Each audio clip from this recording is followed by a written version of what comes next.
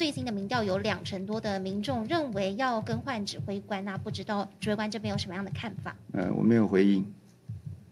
呃，本土案例是五零九二哈，五零九二。那境外移入是八十，那落地裁减七十二，居家检疫裁减八。那重症的病例哈，从七十八人又增加十人，那重症的人数由七人增加一人。十一名里面哈，一位是重症，是五十多位的男性，那打过三剂的疫苗。好，那他基本上有一个糖尿病的病史，哈，那在加护病房，那使用呼吸器，那其余的哈，大概是有打没有打疫苗的四位，哈，那打过三剂的也是四位。那我们所关心的还是一样，哈，这疫情一定是会往上升，哈，以这样子每天，哈，这五千人就比昨天大概增加了百分之二十三点四。啊，这样的一个速度，那其实成长会很快。那注意就是我们相关的疫苗、药物、快筛，啊，轻重分流要把它做好。那把确诊，尤其是中重症的，要把它照顾好。好，那基本上高风险的要及早来投药。好，那我们是推估说，可能在最高点，啊，可能有四点五万。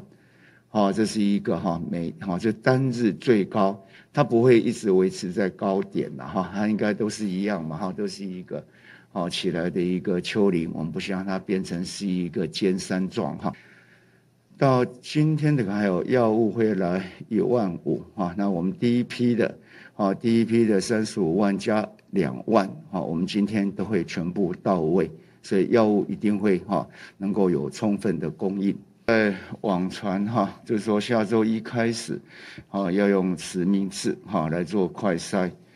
啊，下周一没有，这是一个假的讯息哈，请大家不要转传，好，那转传这是有处罚之余哈，是跟大家报告，我们这个哈这个社交距离的 app，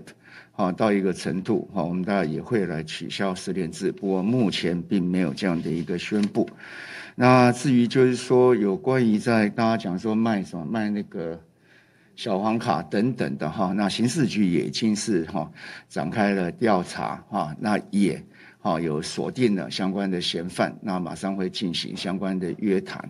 那再次强调，这是违法的事情哈，请大家不要哈就是以身设法了哈。想请教一下，说我们快筛实名制是否已经有确切上路的日期？那当然，时间我们约约抓在五月初要来把实名制上路，啊，但我们也希望哈能够尽早，好，因为那基本的准备也都差不多了。那能够比较确定，大概就是五月份在这个实名制上面，我们至少会提供五千万剂，哈，会提供五千万剂，五千万剂每一每一份，哈，每一份是五五例嘛，哈，所以基本上会有一千万人，哈，可以在五月份可以来。哈，购买这样的一个实名制。